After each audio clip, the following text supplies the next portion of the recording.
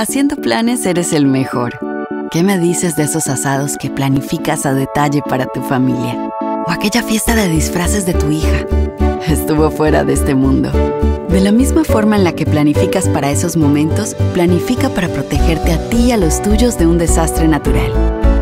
Inscríbete para recibir alertas locales, prepara un kit de emergencia y haz un plan de comunicación familiar. Proteger a tu familia es el mejor plan que puedes hacer.